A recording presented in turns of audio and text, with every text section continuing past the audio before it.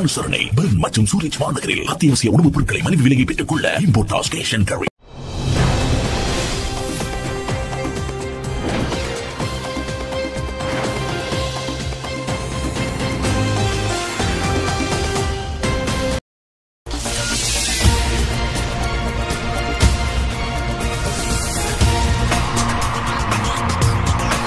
சமாதான நீதவான் நியமனத்திற்கான அடிப்படை கல்வி தகுதி. தியாகு திலீபனின் விடயத்தில் இழைக்கப்பட்டது அநீதி. நாடாளுமன்றில் அனுரகுமார் எச்சரிக்கை. இருபதாவது திருத்தச் சட்டம் மூலத்துக்கு ஆதரவு தெரிவிப்பதாக சுதந்திர கட்சி அறிவிப்பு.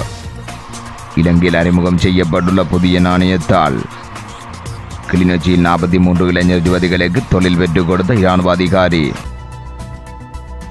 சமாதான நீதவான் நியமனங்களை வழங்க அடிப்படை கல்வி தகுதியாக கல்வி பொது திராவிட சாதாரண தரம் பெற்றுக் கொள்ளப்படும் என நீதியமைச்சர் அலி சப்ரி தெரிவித்தார். எனினும் இது அறுபது வயதுக்கு மேற்பட்டவர்களுக்கு பொருந்தாது. அவர்களின் சேர்திறமை கருத்தில் கொள்ளப்படும். எனவே சமாதான நீதவான்கள் நியமனங்கள் வழங்கப்படும் போது கல்வி பொது திராதர சாதாரண தரத்தை அடிப்படையாக கொண்டு சமூக பணியில் ஈடுபடுவதை முக்கிய தகுதியாக கொள்ளப்படும் என்றும் கூறினார். பாராளுமன்றத்தில் இடம்பெற்ற வாய்மூல விடைக்கான கேள்வி நேரத்தில் அரச தரப்பு எம்பி சாந்த பண்டார எழுப்பிய கேள்விக்கு பதிலளிக்கும் போது இவ்வாறு குறிப்பிட்டார். தியாகி திலீபனின் விடயத்தில் இழைக்கப்பட்டது அநீதி நாடாளுமன்றில் அனுரகுமார் எச்சரிக்கை தியாகி தீபம் திலீபனின் நினைவேந்தலுக்கு இடமளிக்க வேண்டும் என்ற காரணிகளை உள்ளடக்கி அகில இலங்கை தமிழர் காங்கிரஸ் கட்சியின் தலைவர் கஜேந்திரகுமார் பொன்னம்பலம் கட்சி தலைவர் என்ற ரீதியில் சபையில் முன்வைத்துள்ள நிலையில் கட்டளை இருபத்தி ஏழு கீழ் இரண்டு கீழ் விசேட கூற்றை என்னால் அனுமதிக்க முடியாது என்பதை அறிவிக்கின்றேன் ஏனெனில் இதில் மூன்றாம் பந்தியில் சில வாக்கியங்கள் நீதிமன்ற வழக்குடன் தொடர்பட்ட காரணிகள் என்பதனால் இந்நிலையில் கடலை முப்பத்தி ஆறுக்கு அமைய என்னால் இதனை சபையில் வாசிக்க அனுமதிக்க முடியாது என சபாநாயகர் தெரிவித்துள்ளார். நிலையில் கடலை இருபத்தி ரெண்டின் கீழான விசேட கூட்டை சபாநாயகர் சபையில் நிராகரித்ததால் சபையில் கடும் சர்ச்சை எழுந்தது. நாடாளுமன்றத்தில் வாய்மூல விடைக்கான வினாக்கள் நேரம் முடிந்த பின்னர் கட்சி தலைவர் கொண்டு வரும் இருபத்தி ஏழு ரெண்டு கீழான விசேட கூட்டை எதிர்க்கட்சி தலைவர் சஜித் பிரேமதாச முன்வைத்தார். அதனைத் தொடர்ந்து சபாநாயகர் விசேட அறிவிப்பு ஒன்று சபையில் முன்வைத்தார். இதில் கஜேந்திரகுமார் பொன்னம்பலம் கட்சி தலைவர் என்ற ரீதியில் சபையில் முன்வைத்துள்ள நிலையில் கட்டளை இருபத்தி ஏழுங்கில் விசேட கூட்டு என்னால் அனுமதிக்க முடியாது என்பதை அறிவிக்கிறேன் என்றார். திலீபன் தொடர்பான மூன்றாம் பந்தியில் சில வாக்கியங்கள் நீதிமன்ற வழக்குடன் தொடர்பட்ட காரணிகள் என்பதனால் நிலையில் கடலை முப்பத்தி ஆறுக்கு அமைய என்னால் இதனை சபையில் வாசிக்க அனுமதிக்க முடியாது என குறிப்பிட்டார். அது மட்டுமல்ல நாடாளுமன்ற நடைமுறை நாட்களில் எதிர்க்கட்சி தலைவர் உள்ளிட்ட சகல கட்சி தலைவர்களும் நிலையில் கடலை இருபத்தி ஏழுங்கில் ரெண்டுக்கு அமைய ஒரு நாளில் ஒரே ஒரு சமூக அவசரகால அல்லது முக்கியத்துவம் என கருதும் கேள்வியை மாத்திரமே கொண்டு வர முடியும் என்ற வரையறையையும் நடைமுறைப்படுத்தப்படுகின்றது என்ற அறிவிப்பை அறிய தருகின்றேன் என கூறி நிராகரித்தார். இதன்போது நாடாளுமன்றத்தில் ஒழுங்கு பிரச்சினை எழுப்பிய தேசிய மக்கள் சக்தியின் தலைவர் அனுரகுமார் திசநாயக்க நீங்கள் விடுத்த அறிவிப்பு தொடர்பில் எமக்கு உடன்பாடுகள் இல்லை.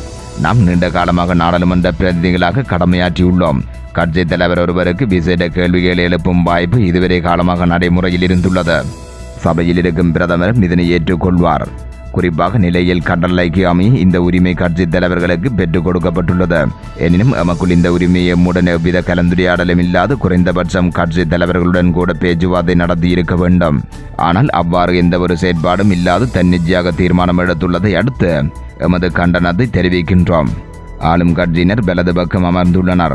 எதிர்கட்சியினர் இடது பக்கம் அமர்கின்றனர். சபாநாயகர் ஆசனம் இரண்டு தரப்பிற்கும் நடுவில் உள்ளது.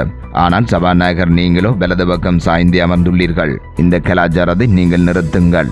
கட்சி தலைவர் ஒருவருக்கு உள்ள உரிமை நீங்கள் தட்டி பறிக்க வேண்டாம். ஒன்பதாவது நாடாளுமன்றம் கூடி மூன்று அமர்வுகள் முடிந்துள்ளது. இதுவரையில் நான் இருபத்தி ஏழுங்கள் இரண்டுங்கள் இரண்டு கேள்விகள் எதனையும் எழுப்பவில்லை. அவ்வாறு கேள்வி எழுப்பப்படவில்லை என்பதற்காக எனக்கு அந்த உரிமை இல்லை என்று அர்த்தப்படாது. நாம் கேட்காதிருப்பது என்பதும் எமக்குள்ள உரிமை என்பதும் வெவ்வேறு காரணிகள். எனவே கட்சி தலைவர்களிடம் இது குறித்து தெரிவிக்காது சர்வாதிகாரமாக செயற்பட வேண்டாம். நாளை கட்சி தலைவர் கூட்டத்தில் இது குறித்து பேசலாம் என கூறினார். இதன்போது குறுக்கிட்டு ஆளுந்தரப்பில் தினேஷ் குணவர்தன் ஜோன்சன் பெர்னாண்டோ டிலான் பெரேரா உள்ளிட்டவர்கள் கஜேந்திரகுமாரின் கேள்விக்கு கடும் எதிர்ப்பை வெளியிட்டனர். சபாநாயகர் பக்க சார்பாக நடந்து சபையை புலியாக வழிநடத்துகிறார் என்பதை கஜேந்திரகுமாரும் சுட்டிக்காட்டினார். அத்துடன் கட்சித் தலைவரான கஜேந்திரகுமாரின் கேள்வியை நாடாளுமன்றத்தில் அனுமதிக்காத சபாநாயகர் டக்ளஸ் தேவானந்தா தினமும் அடிக்கடி கட்சித் தலைவர் என்ற கோதாவில் குறுக்கீடு செய்வதை அனுமதிப்பதையும் சுட்டிக்காட்டினார். சபாநாயகர் வெளிப்படையாக அரசு தரப்பை சார்ந்து செயற்படுவதாக பல நாடாளுமன்ற உறுப்பினர்கள் தமது எதிர்ப்பை வெளியிட்டனர்.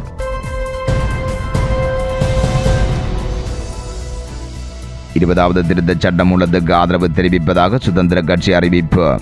அரச நிர்வாகம் சிறந்த முறையில் இடம்பெற வேண்டும் என்பதற்காக இருபதாவது திருத்தச் உள்ளதுக்கு ஆதரவு தெரிவிப்பதாக ஸ்ரீலங்கா சுதந்திர கட்சி அறிவித்துள்ளது. அதே நேரம் அரசாங்கத்தில் எவ்வித அமைச்சு பதவிகளையோ ஏனைய பதவிகளையோ ஸ்ரீலங்கா சுதந்திர கட்சியின் தலைவர் மைத்திரிபால சிறிசேன எதிர்பார்க்கவில்லை என அக்கட்சியின் ஊடக பேச்சாளர் வீரகுமார திசாநாயக்க தெரிவித்தார். சுதந்திர கட்சியின் தலைமை காரியாலயத்தில் இடம்பெற்ற ஊடகவியலாளர் சந்திப்பில் கலந்து கொண்டு கருத்து தெரிவிக்கும் போதே அவர் இவ்வாறு குறிப்பிட்டார். இதன்போது அவர் மேலும் தெரிவிக்கையில் அரசியலமைப்பின் இருபதாவது திருத்தத்துக்கு சுதந்திர கட்சி ஆதரவு வழங்குமா அல்லது எதிர்ப்பை வெளியிடுமா என எதிர்த்தரப்பினர் எதிர்பார்த்துள்ளனர். அரசியலமைப்பின் பத்தொன்பதாவது திருத்தம் சிறந்த பல இலக்குகளை கொண்டு அறிமுகப்படுத்தப்பட்டது. ஆனால் பத்தொன்பதாவது திருத்தம் நடைமுறையில் ஜனாதிபதி பிரதமர் மற்றும் சபாநாயகர் ஆகிய முத்தரப்பினருக்கும் இடையில் அதிகாரம் தொடர்பான நெருக்கடிகளை ஏற்படுத்தியது. அரச தரப்பினருக்கிடையில் முரண்பாடுகள் தோற்றம் பெறும்போது அவை முழு அரசாங்கத்துக்கும் பாதிப்பு ஏற்படுத்தும். இவ்வாறான நிலை தோற்றம் பெறக்கூடாது என்பதற்காகவே இருபதாவது திருத்தம் உருவாக்கப்பட்டது. திருத்தத்தில் காணப்படும் ஒரு சில குறைபாடுகள் நாடாளுமன்ற குழு ஊடாக திருத்தம் செய்யப்படும் என அவர் மேலும் தெரிவித்தார். இலங்கையில் அறிமுகம் செய்யப்பட்டுள்ள புதிய நாணயத்தாள். இலங்கையில் புதிய ஆயிரம் ரூபாய் நாணயத்தால் அறிமுகம் செய்யப்பட்டுள்ளது. மத்திய வங்கி ஆளுநர் பேராசிரியர் டபிள்யூ டி லாக்ஸ்மனினால் புதிய நாணயத்தால் பிரதமர் மஹிந்த ராஜபக்சவிடம் ஒப்படைக்கப்பட்டுள்ளது. மத்திய வங்கி ஆளுநர் மற்றும் பிரதமர் மஹிந்த ராஜபக்சவுக்கு இடையில் பிரதமரின் உத்தியோகபூர்வ இல்லத்தில் சந்திப்பு ஒன்று இடம்பெற்றுள்ளது.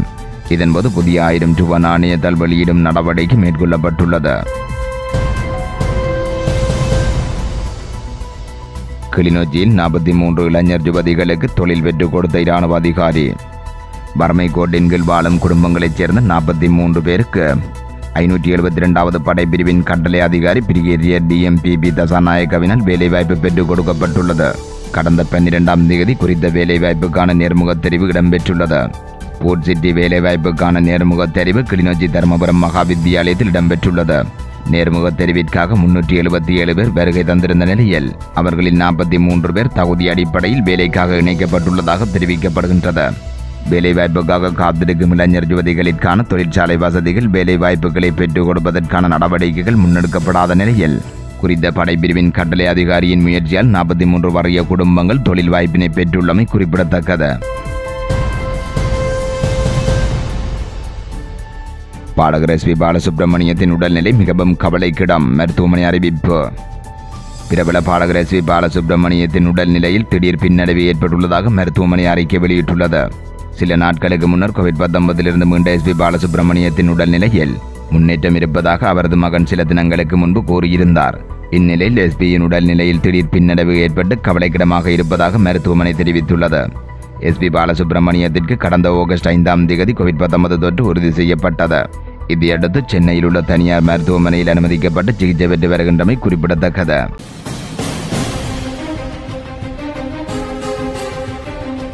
தனி வாழ் தமிழர்களின் இதய ஒலி தமிழன் டுவெண்டி ஃபோர் டாட் காம்